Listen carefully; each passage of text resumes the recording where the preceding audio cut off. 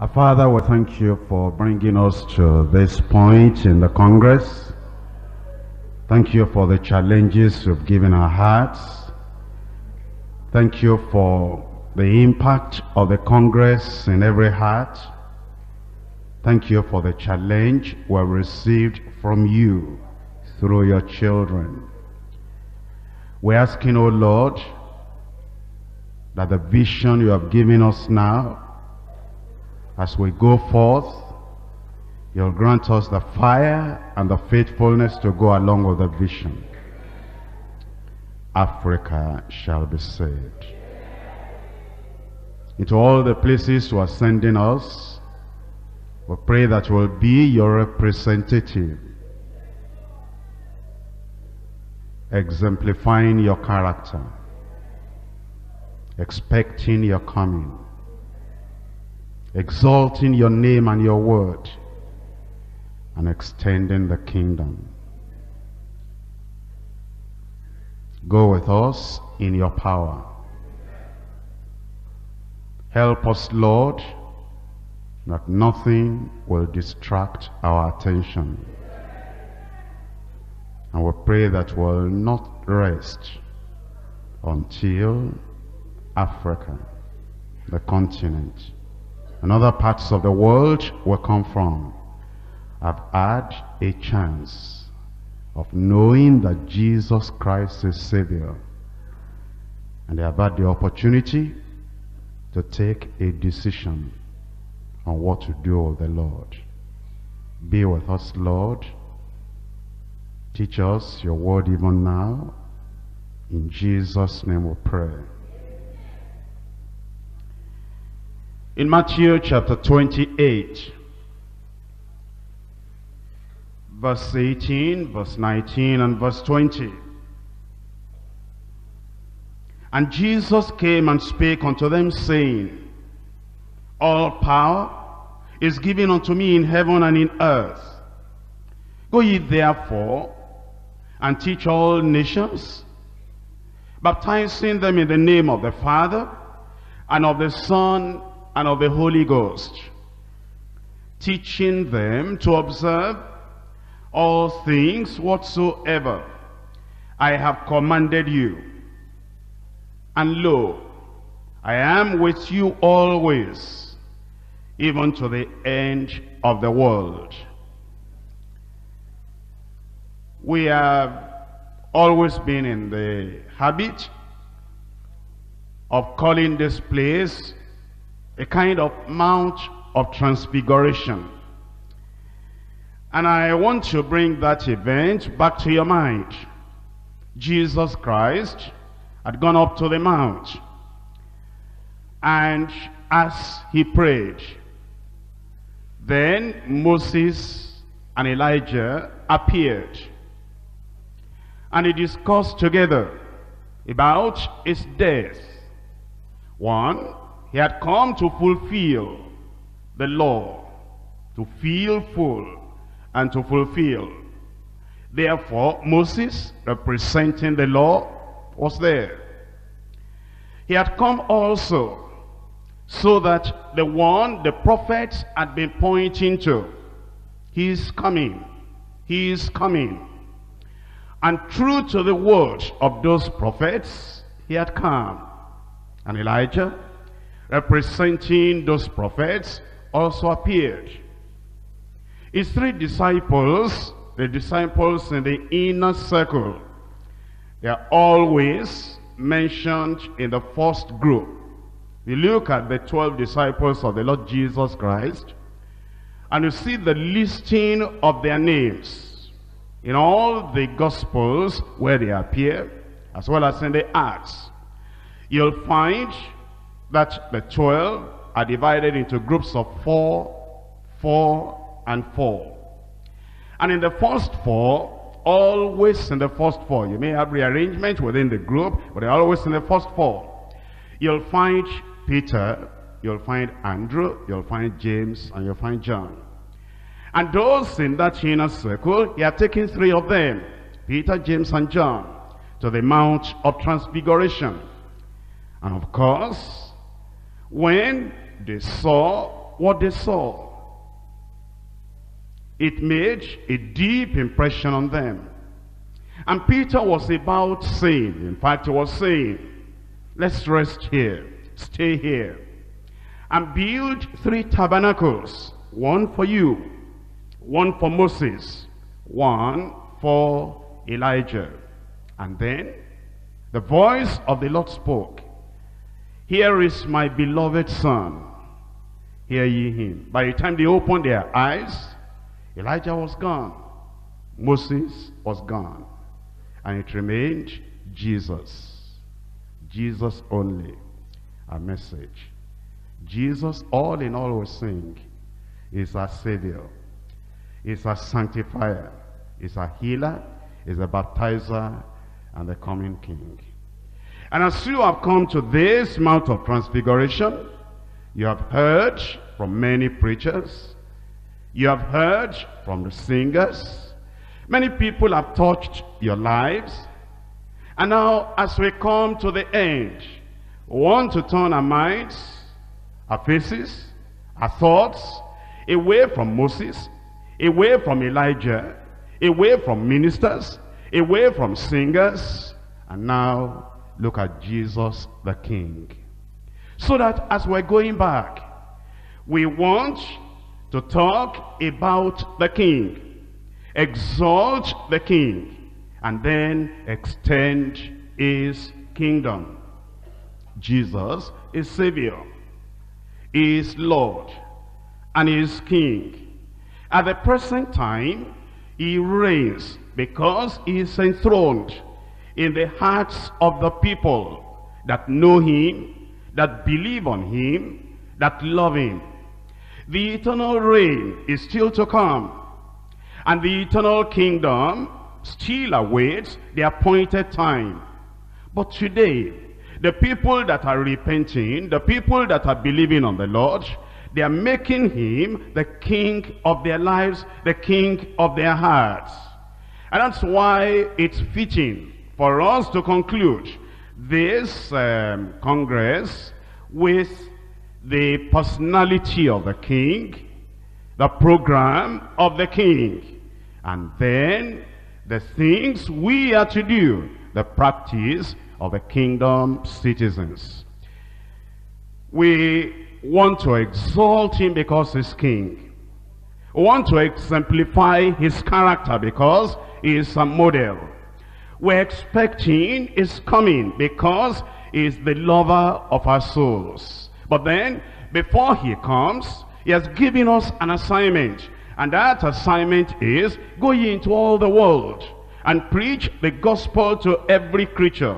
We're here to extend his kingdom. I'll just be talking on three points. Number one, explaining his kingship. Explaining his kingship. Number two, exalting the king. Exalting the king. Number three, extending his kingdom. From the very beginning, Jesus Christ had been appointed by the Father as king. In Genesis chapter 14, reading from verse 18.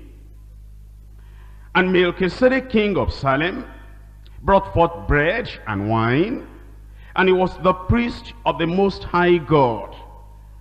And he blessed him, blessed Abraham. And he said, Blessed be Abraham of the Most High God, the possessor of heaven and earth. And blessed be the Most High God, which has delivered thine enemies into thine hand. And he, Abraham, gave him Melchizedek tithes of all.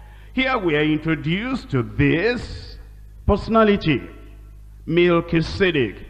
And this Melchizedek is referred to as king, as well as the priest of the Most High. The Jews that read that, and Moses himself that wrote that by inspiration must have been challenged very much. Because if you know anything about the children of Israel and about the things that the Lord gave them, they had kings, they had priests, They had prophets, but never did they have a king being a priest at the same time. There were times that the kings, some of them, David in particular, was used in the prophetic office.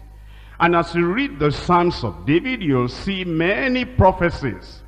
But apart from David, the kings were not prophets. The prophets were not kings. The kings were not priests. The priests were not kings. But here we come across this one unique, different from the rest of the people that he was referred to as a king as well as a priest. And now you come to the New Testament and now you understand the reason why Melchizedek even appeared at all in Holy Writ.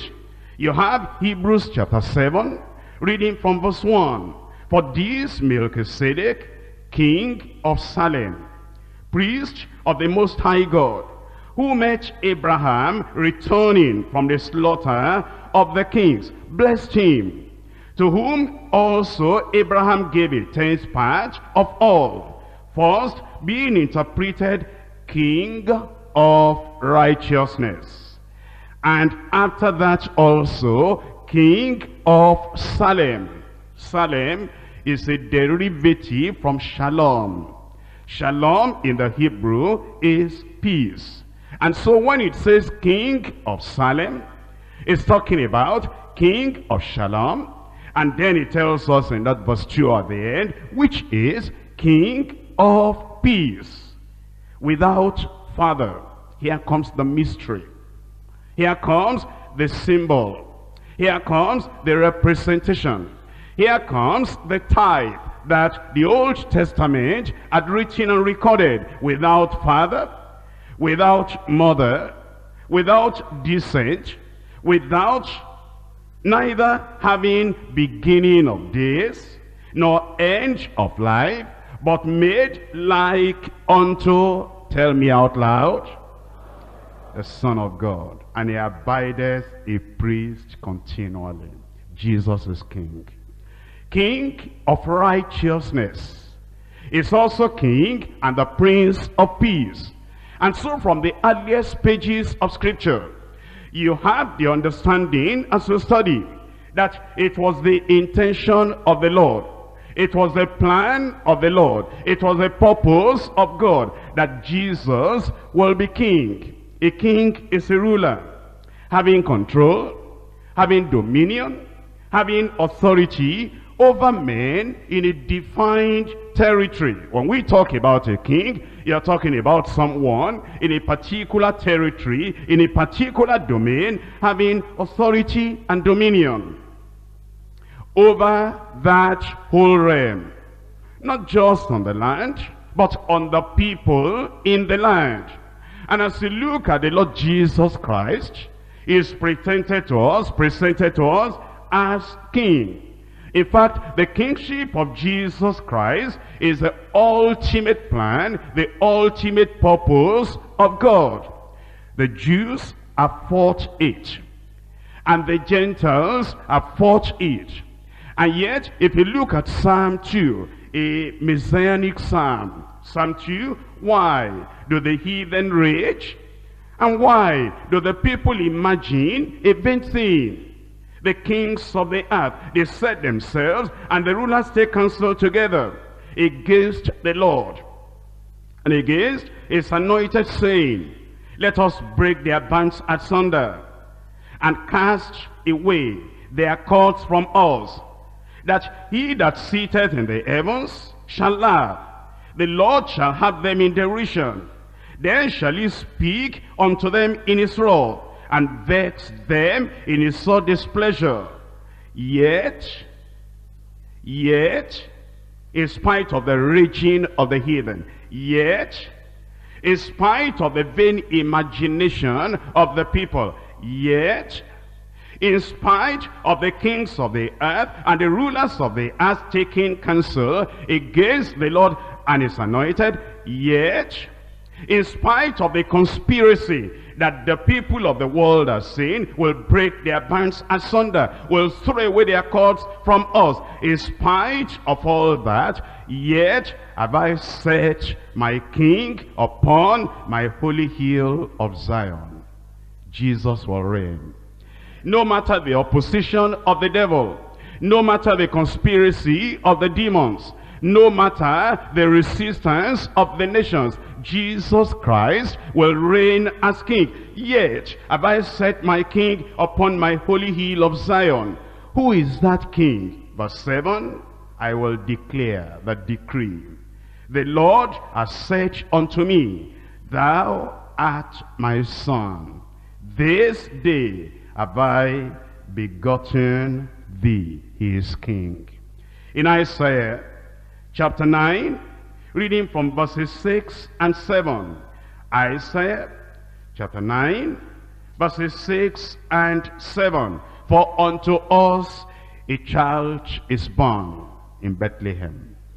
Unto us a son is given at Calvary. And the government shall be upon his shoulder after the church age.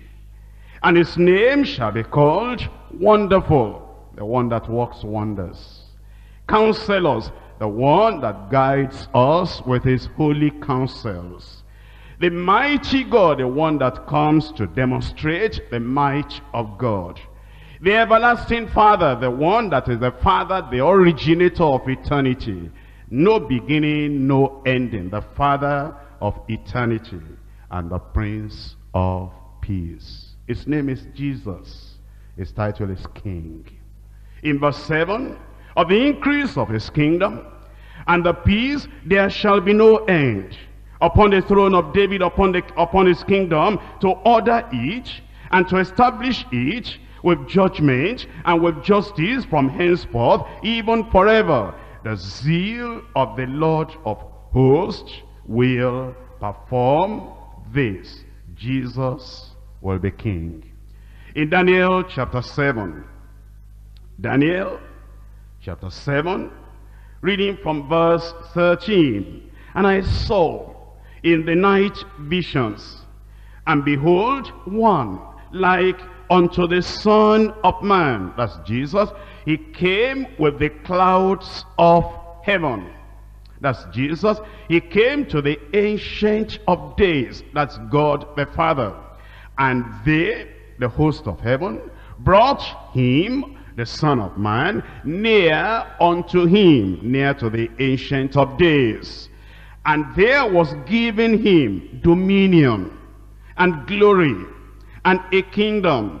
And all the people and nations and languages should serve him. His dominion is an everlasting dominion, which shall not pass away his kingdom which, and his kingdom that which shall not be destroyed.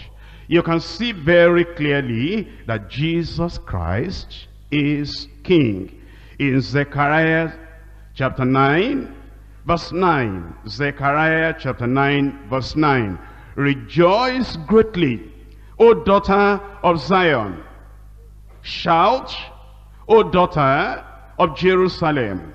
Behold, thy king cometh unto thee. He is just, having salvation, lowly, and riding upon an ass, and upon the colt and the foal of an ass. You know that that is a prophetic statement concerning the Lord Jesus Christ. But you see the point there is referred to as king. Thy king cometh, O daughter of Jerusalem. Look at the fulfillment in Matthew chapter 21. Matthew chapter 21, reading from verse 1. And when they drew near unto Jerusalem, and were come to Bethphage, unto the Mount of Olives, then sent Jesus two disciples, saying unto them, Go into the village over against you, and straightway ye shall find an ass tied, and a colt with her. Loose them, and bring them to me. And if any man say aught unto you, ye shall say, The Lord has need of them. And straightway he will send them. All this was done, that it might be fulfilled, which was spoken by the prophet, saying, Tell ye the daughter of Zion, Behold, thy king cometh unto thee, meek, and sitting upon an ass, and a colt, the foal of an ass. You will see then very clearly that Jesus Christ is king. His kingship, as we have seen, was predicted in the Old Testament. And then it was affirmed in the New Testament. Now, he doesn't appear to be reigning over the whole earth. Now, it doesn't appear that Jesus Christ is king in every nation and in every country and over every tribe, over all the people, all the languages and tongues. But the time is coming when he is going to reign over the whole earth. Amen? But now, is he king at all even today? Oh yes, he reigns in your heart. He occupies a throne in your heart. And in the hearts of all the people that believe, the people that have received him as Savior and Lord. He is King, reigning in the hearts of all true believers. He is the head of the church and is reigning in the church. Very soon, he will reign in the millennial kingdom, which will be established after the great tribulation. And then later, he'll be reigning in his eternal kingdom. Then will the word of the Lord be fulfilled, that he will reign forever and ever. Now, if Jesus is king, king in your heart and in your life today, what it is it you should be doing now in relationship with that king? That leads me to point number two, exalting the king. Exalting the king. Let's see what the Father himself had done in Philippians chapter 2. Philippians chapter 2, reading from verse 9. Philippians 2, 9. Wherefore, God has also highly exalted him, and given him a name which is above every name, that at the name of Jesus every knee should bow, of things in heaven, and things in earth, and things under the earth, and that every tongue should confess that Jesus Christ is Lord to the glory of God the Father. It tells us that the God of heaven has already highly exalted him. It is not just that he is thinking of exalting him. He has already highly exalted him. He has given him already a name which is above every name. And because of the plan of God, the purpose of God, the program of God, which is the exaltation of Jesus Christ as Savior, as Lord, and as King. It tells us the consequence. That exaltation has impact in heaven. It has impact on earth. It has impact under the earth. It has impact high above. It has impact here on earth. It has impact down below. It has impact among the holy angels and the redeemed of the Lord who have already gone up to glory. That exaltation of Jesus Christ has impact today in the lives of believers who are living even today. And then in eventually it's going to have impact in the whole earth. And then it has impact even in the world of spirits. Unseen, invisible. They recognize that name. They know the authority in that name. They know the power in that name. Even under the earth, Jesus' exaltation has impact and has a consequence. That's why it says that the name at the name of Jesus, every knee should bow. The time is coming. The day is soon approaching when every knee shall bow to the name of the Lord Jesus Christ. We who believe today, we bow voluntarily. We bow because we believe. We bow because we love him. We bow because we crown him king. The people who have not bowed in faith, they are going to eventually bow by compulsion. Because the Father, the creator of the heavens of the, and the earth, is going to compel everyone to bow at the mention of the name of Jesus. And every tongue shall confess that Jesus Christ is Lord. And when every tongue does that, it will be to the glory of the Father. Now, if that's what the Father wants, if that's the plan of the Father, if that is what the Father is going to eventually effect in the whole universe, what's the attitude of the believer today? What is the believer doing today with the kingship, the royalty of the Lord Jesus Christ? We're here to exalt him. John the Baptist says it in such a beautiful way in John chapter 3. John chapter 3, reading from verse 30, it says, He must increase, and I, but I must decrease. Let me try to paint the picture so you will understand. He must increase, but I must decrease. Before you came to know the Lord Jesus Christ as your Savior, you were everything in your eyes, and Jesus was nothing. He was not in your thought. He was not in your plan. He was not on your heart. He was not exalted in any way. You didn't even know him. You did everything you did without any reference to him. You were all in all and you made him nothing. Self sat on the throne of your heart and everything revolved along, I, around I, my, mine. Because you thought you were the king. And everybody ought to bow down to you. You worshipped yourself. You wanted other people to worship you. And if anything was being done in your community that is not related to you, that didn't give you uh, self-esteem or a promotion or publicity, it was nothing to you. Because you are a total unbeliever, Jesus was nothing to you. And then you became born again.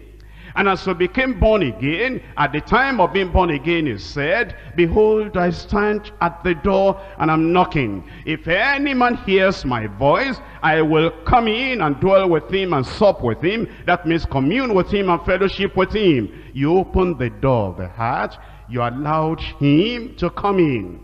You said you received him as your Savior and Lord. Or be practical after you are born again. You said, Lord, it's wonderful to be born again. I will take this territory, you will take this territory. You, you said at that time you were born again, I accept this, I accept this, I accept this. It appears that self went away from the throne, but self was still present. Maybe it wasn't dominant, maybe it wasn't preeminent, maybe it wasn't even prominent, but it was present. It was still there. And you have myself there, self there. You also have Jesus there. And then you begin to read the scriptures. And you read of the total abandonment and the total consecration and the, total surrender and the total yieldedness of Bible characters. You read about Enoch that walked with God and you began to look at your life, the way you were almost sharing the throne with the Lord Jesus Christ, you say, ah, ah, there is something wrong here.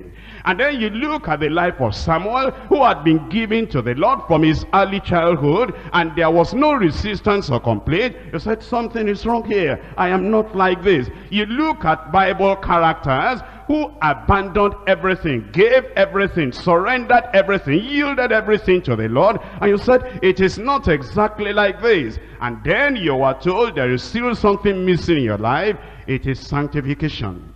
Because this I must be crucified.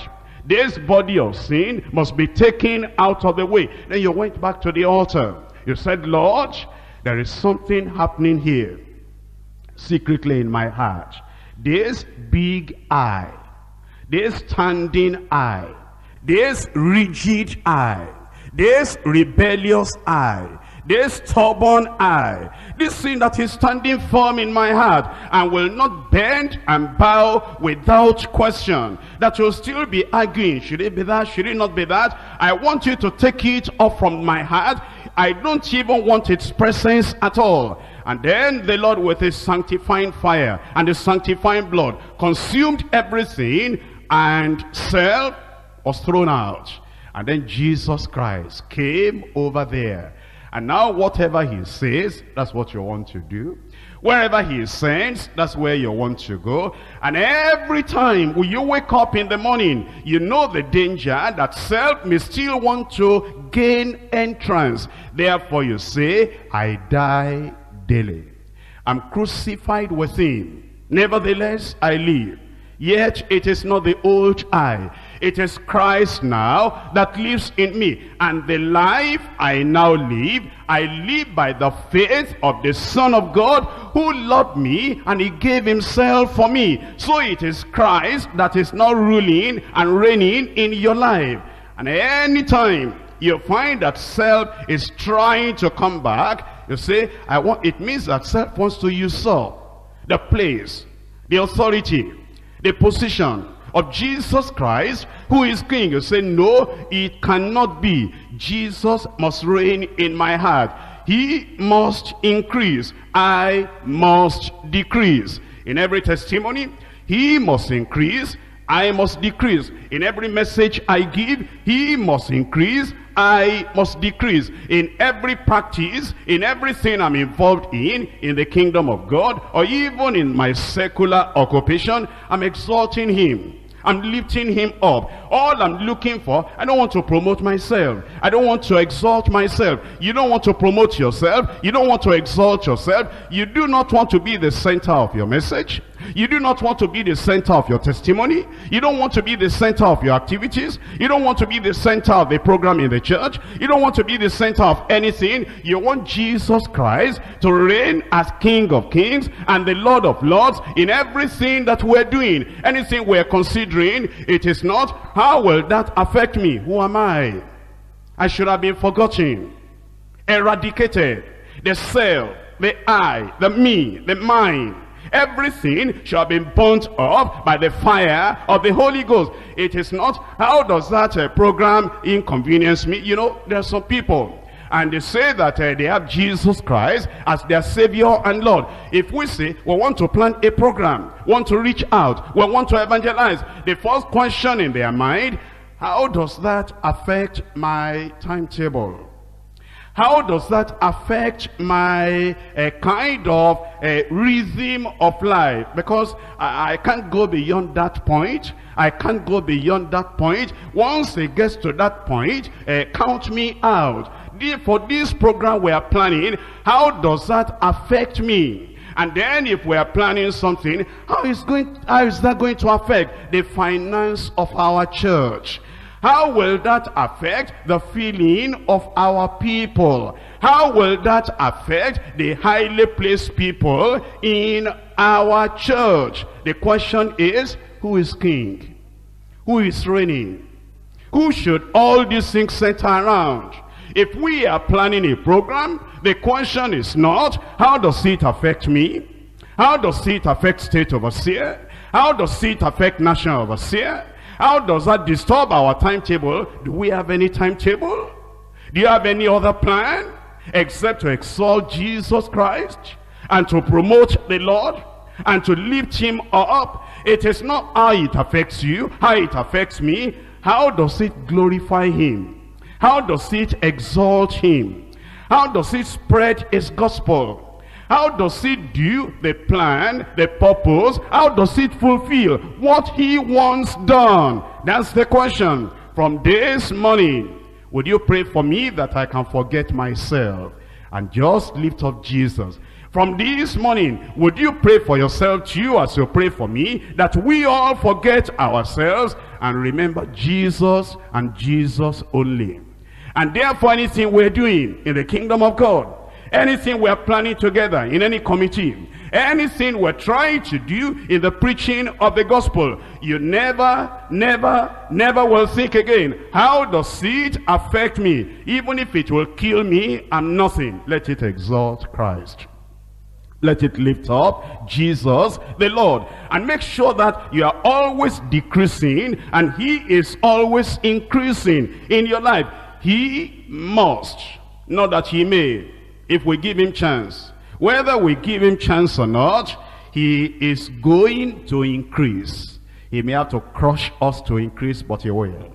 He may have to get us out of the way, but he will increase. He may have to forget about us if we do not want to really be sanctified and have our will swallowed up in the will of God. He may have to pack me by, this, by the wayside. He may have to say, you do not understand. Your head is always in the way. Your mind is always in the way. Your philosophy is always in the way. Your rebellion is always in the way. Your myself, my will, what I want, my program, my timetable is always in the way. Would you please get out of the way so that I can have my own program because there will be no two kings over the same throne. It is Jesus and Jesus alone that will be king. But you will not allow him to pack you by the wayside.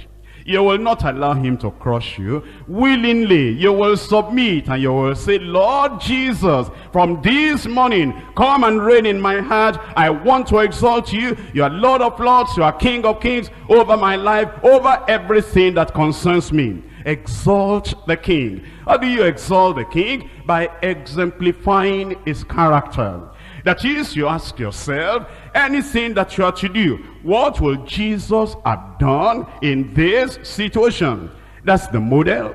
That's a perfect example. You exalt him by eh, eh, exemplifying his character. You love him, you appreciate him. You know that he's unique. You know there is none like him. He's the lover of your soul. He's your savior. He's the all in all. He's your desire. He's your delight. He's the one that you love. He's the one that you embrace. You want to go with him anywhere. You will climb any mountain because of him. You will descend any valley because of him. You'll go through difficulty because of him. You want him. You love him. He is the only important personality in your life. Your life is related to him. You wake up in the morning, what can I do for my Lord? You want to sleep in the night, what have I missed doing for my Lord today? You are talking for, to somebody, how can I glorify the Lord? You are helping somebody, how can I show him that it's not me doing it, it's Jesus doing it? You are traveling somewhere, how can I make the people that I'm traveling with to know Jesus if they don't know Jesus?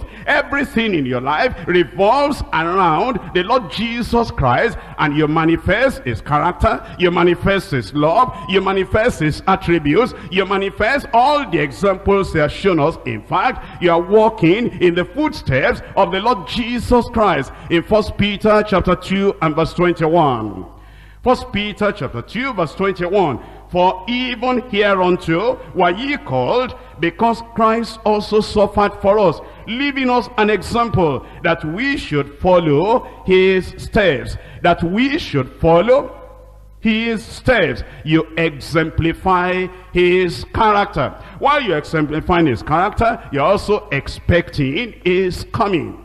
Expecting his coming. You are telling yourself, the Lord may come today. The trumpet may sound today. In a moment, in a twinkling of an eye without any warning, without any announcement, the dead in Christ will hear the voice of the Son of Man. And they that are dead will rise up from their graves. And then we which are alive shall be caught up together with them in the clouds. And so shall we ever be with the Lord. And you do not know, it may be today It may be tonight. Therefore you tell yourself, this may be the last message I will preach before Jesus Christ comes. How can I, in this probably seeming possibility, in this last message, how can I exalt my king? This may be the last action of love. I will do to another person before the coming of my Lord. How can I do it with all my heart, with all my soul, with everything that is within me so that I would say the last thing I did the last word I spoke, the last kind uh, act or deed of kindness that I did, the last thing that was in my life, in a practical way, before the coming of the Lord, exalted the King. That's why, if you're a real Christian, you wake up in the morning, it may be the last day. It may be my last opportunity. You are preaching in a retreat. It may be the last message I will preach before the coming of the Lord. How do I present it? If you preach as if, well, preaching opportunities are always there. I may still be able to preach tomorrow.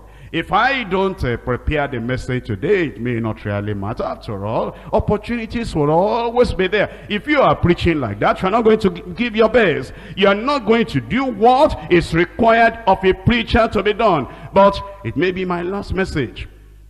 It may be the last song I will sing. It may be the last time I'll be able to serve the people of God in the Congress like this. It may be the last encouragement I will give to anyone before the coming of the Lord. It may be the last uh, kind of feet I will wash and wash their dirty feet and do it for the sake of the Lord. Humble myself and take the position of a servant to serve other people. It may be my last act or representation or demonstration of my faith and my love unto the Lord because of my expectation of his kingdom. That helps me to exalt the Lord all the time. In Hebrews chapter 9. Hebrews chapter 9. Reading from verse 28. So Christ was once offered to bear the sins of many. And unto them that look for him that shall he appear the second time without sin unto salvation. He's coming again. But when he comes again, it's not coming to offer uh, for the, as a sin offering. It's not going to come and offer himself in sacrifice to produce or to give salvation. He's done that already is offered himself as a sacrifice for sin so we can have salvation. But now he's coming and he'll be coming for the church. And because you know that you are expecting his coming, you exemplify his character and you are exalting the king. Now, in exalting the king, the best way we do that with life, with our lips, with our actions, with our deeds with everything we're doing all our lives. You just put the life together and you say, this single life, I live in this world but once. And this one time I'm here, I'm going to put the best into it so that I can extend the kingdom of my king. That leads us to the final point, extending his kingdom. Extending his kingdom. I told you already, when we talk about the kingdom of God, we are talking actually about a different phases of the kingdom. There's no part, there's no time to read all the scriptures, but let me give you five phases of the kingdom before I now come to the part, the phase we are to extend. Number one, the kingdom announced by the prophets the kingdom announced by the prophets. If you read the Old Testament, you will see that the prophets announced the coming of the king. And you see, if you study Matthew, you're going to see, number one, the king revealed. And that is the purpose of Matthew in writing the gospel according to Matthew. He wants to reveal the king, reveal the king, reveal the king. But as you read on in Matthew, you will find the king rejected. He was rejected, rejected by those people. And then he told them, I abandon your house unto you. I leave your house to you desolate. And you will not see me until you will say, Blessed is the one that comes in the name of the Lord, the king returning. The king revealed, the king rejected, and then the king returning. That's what you find in Matthew as a broad outline. But you see, that kingdom that was prophesied in the Old Testament, that kingdom could not be established immediately because of the rejection of the children of Israel. That goes to number two phase of the kingdom. The kingdom offered but rejected at Christ's first coming. Do you remember the message of John the Baptist? Repent for the kingdom of God is at hand. He is coming. He is coming. He is coming. And if they had been ready at that time, something would have happened. But they were not ready. Therefore, we now pass to the next stage. The present spiritual kingdom, the kingdom that resulted as a result of the rejection of the children of Israel that when Jesus Christ was talking to the people, he said, do not look here or look there, looking for the king. He said, the kingdom is within you. That means the territory of my authority, the domain of my rule. He said, that is within you. It's not all over the earth at this time. In fact, it's not even all over Israel because Israel rejected their king and rejected their kingdom. It's not over the Roman Empire either because he didn't reign over them. But he said, it is within you. That is the spiritual face of the kingdom. Every time somebody gets converted now, Jesus becomes king in his life.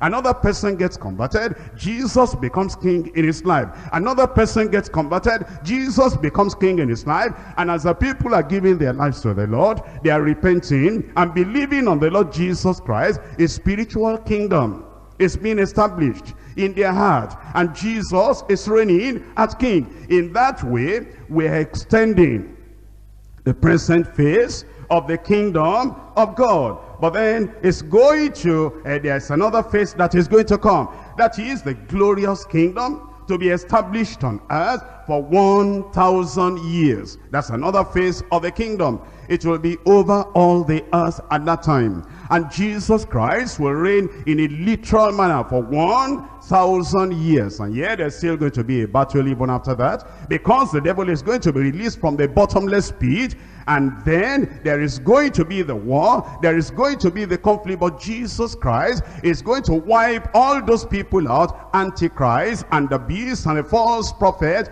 and the people that take arms of rebellion against the king. They'll be wiped out. Then there will be the great white throne judgment. And then after that will the Lord establish the eternal heavenly kingdom. When Everything will be under the authority of the Lord Jesus Christ. And that is the dominion, the kingdom that will be forever and ever and ever. Come back now. In the present situation, in the present era in which we're living, it is a spiritual phase of the kingdom.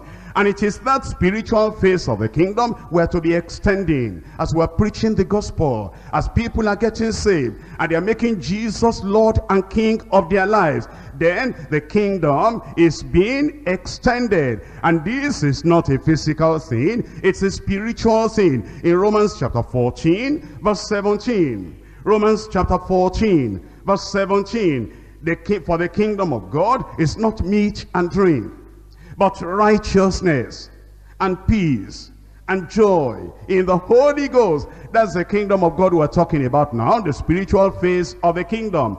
The people that do not have any peace, the people that are like troubled waters, the sinners, the wicked, you are introducing to them the Prince of Peace. You are introducing to them the Lord of life. You are introducing to them the giver of life eternal. You are telling them Jesus Christ has paid it all. And if they will repent and give their lives to the Lord Jesus Christ, Christ will come into them. They will come into the kingdom. In that present phase, as the people are entering into the spiritual kingdom of the Lord, you are extending the kingdom. In uh, Colossians chapter 1, Colossians chapter 1, reading from verse 13, who has delivered us from the power of darkness and has translated us into the kingdom of his dear son. As people are getting born again, their lives are being transformed, they are being taken out of darkness and they are translated They are transferred. They are placed into the kingdom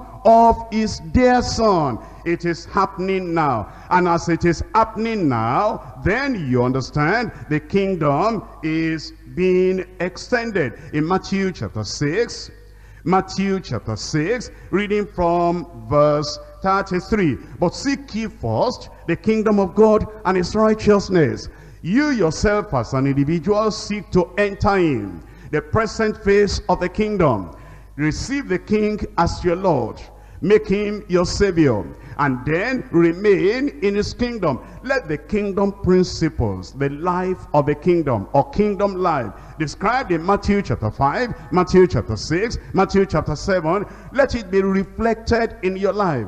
The king is living within. The king is controlling our lives. And therefore the manifesto of the king, the principles in the message of the king is transferred into our lives. And we're living as it is described in that sermon on the mount. You are living a holy life. You are seeking the kingdom of God and his righteousness. And then all the people you have contact with, your immediate family, you make them to also seek that same kingdom of God and his righteousness. The members of your local church, as you have privilege, as you have authority to influence them, you make them to seek first the kingdom of God and his righteousness. And then it says, all these things shall be added unto you. The Lord is giving us a commission. And it is that as we're going now, you know that Jesus Christ is King. You have allowed him to enter into your heart, the entry of the king. Then you want him to be reigning there. You are exalting him, the exaltation of the king. And then as you are going away to your various locations, you are preaching the gospel. You are telling sinners to repent. You are telling them to believe on the Lord. You are extending the kingdom of God in Luke chapter 9. Luke chapter 9, reading from verse 59 and uh, verse 16. And he said to another, follow me.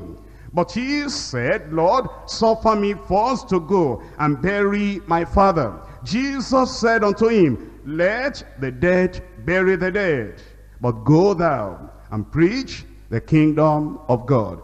There are things that other people can do and we believers too can do. Unbelievers bury their dead body. We believers too, we bury our dead bodies. But let it be with a difference. The unbelievers, they do it as if that's the only thing to do in life. Burying the dead, getting married, getting work done, and doing all those physical things. They do those things as if that is the only thing to do. But let there be a difference for the people of God. Let the dead bury the dead. The way they do it, it consumes their attention. It consumes every all their resources. It consumes all their energy. But you, don't spend all your life just burying the dead, just doing what the unbelievers too can do. But you let your life make a difference in the kingdom of God. Go thou and preach the kingdom of God. Can we do it? I said, can we do it? I bring you back to the challenge of Paul the apostle in 2 Timothy chapter 4 and from verse 1. I charge you therefore before God and the Lord Jesus Christ, who will judge the quick and the dead at his appearing. Preach the word. Be instant in season and out of season. Reprove, rebuke, exhort without long suffering and doctrine for the time will come when they will not endure sound doctrine but after their own laws shall they heap to themselves teachers having itching ears and they shall turn away their ears from the truth and shall be turned unto fables. But thou watch thou in all things endure affliction for the sake of the king for the sake of our lord in the process of extending the kingdom, ex uh, endure afflictions, do the work of an evangelist, preach to sinners, bring them into the kingdom of God, and make full proof of thy ministry. The Lord is watching us. He will be watching over us. As we go, he will support us in his power.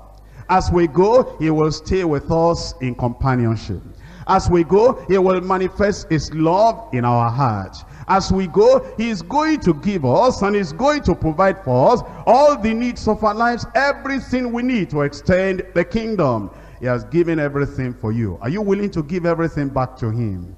Please, you will commit yourself to the Lord and say, Lord, I know what you want me to do. For the rest of my life, I will be exalting the King. I will exalt Jesus. Not only that, I will, ex I will extend his kingdom. Shall we rise up and tell the Lord, help me, Lord, help me, Lord, help me, Lord, to exalt the King in my life, in my behavior, in my character, in my attitude. Help me to exalt the Lord, not exalt myself in my testimony, in my preaching, in my family, in my place of work, in the church. Help me to exalt the king, not to exalt the preacher, not to exalt the general superintendent, not to exalt the general, the, uh, the state overseer, not to exalt my family, not to exalt my husband, not to exalt my wife. Exalt the king.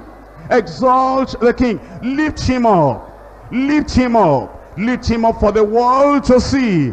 And I, if I be lifted up, I will draw all men unto myself. Lift him up. Lift him up. Lift him up. Lift him up. He is king. Give him a free hand in your life. Give him the total liberty in your life to be king. To rule without a rival. And every day you wake up, let self be kept out. Let self be kept out. In all our committees, let self be kept out. In the vetting committee, in the missions committee, in the building committee, in any committee we set up, let self be kept out and let King reign, let the King Jesus reign in that committee, in our state, in our region, in our local government, in our local church, in our schools, among the youth, in the children ministry, in the choir, among the ushers, everywhere, let it be King Jesus. Let it be King Jesus. Let's forget about ourselves. Let us lift up the Lord. Lift up the Lord. Lift up the Lord. If they don't take my idea, what does that matter? If they don't take my suggestion, what does that matter? If they don't do it the way I want, what does that matter? Exalt the king. Exalt the king. Exalt the king. Don't let yourself complete with the Lord, compete with the Lord Jesus Christ. They don't recognize me. Why should they? They are not promoting me. Why should they? They are not exalting me. Why should they? They are not lifting me up. Why should they? Jesus is the one we want to lift up. Jesus is the one we want to exalt. I must decrease. I must decrease. I must decrease. He must increase. They didn't write my name there. Why should they? They didn't announce my name for everybody to know me. Why should they? Jesus and Jesus only. Let him be exalted in your life. Let him be the all in all in your life. When he is all in all, then you are nothing. Extend his kingdom. Extend his kingdom. Extend his kingdom. Extend his kingdom. Preach him. Lift him up. Proclaim him. Present him to everyone you meet. Is Savior. Is Sanctifier. Is Baptizer. Is Healer. He is Deliverer. Is a Provider. Is the King. Is the lover of our soul. Is the all in all. Talk about him everywhere you go. Exalt him and extend his